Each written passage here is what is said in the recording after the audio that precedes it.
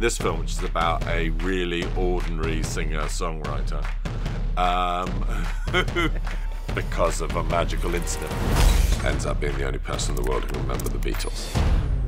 This is a new song I've just written. Oh, yeah! It's been so great to feel that I've had kind of the reality of you at the basis of it, because they had started there, and then the astonishing final position, so that we're filming with you in Wembley. And then in between, there are romantic elements of the thing which are also based on you. Yeah. It's nice to have a film based on me. Hi. Hi. So we had to cast some, you know, ridiculous pop star Can I come in? to play a ridiculous pop star, and who should pop into my mind but Chris Martin. Which is 100% true.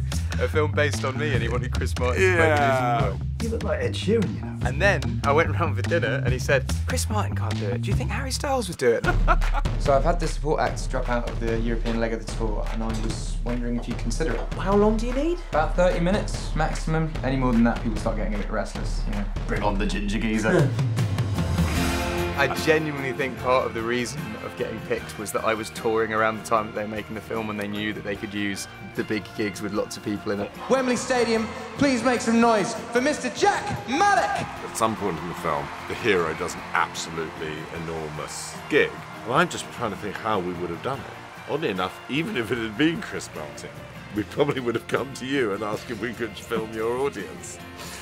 And do That- you know what? that would have been- Do you know what yeah, you would have said?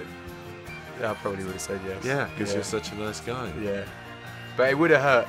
It would have Yeah. hurt. About the song, the, the title, Hey Jude. I do have a suggestion. Hey Dude.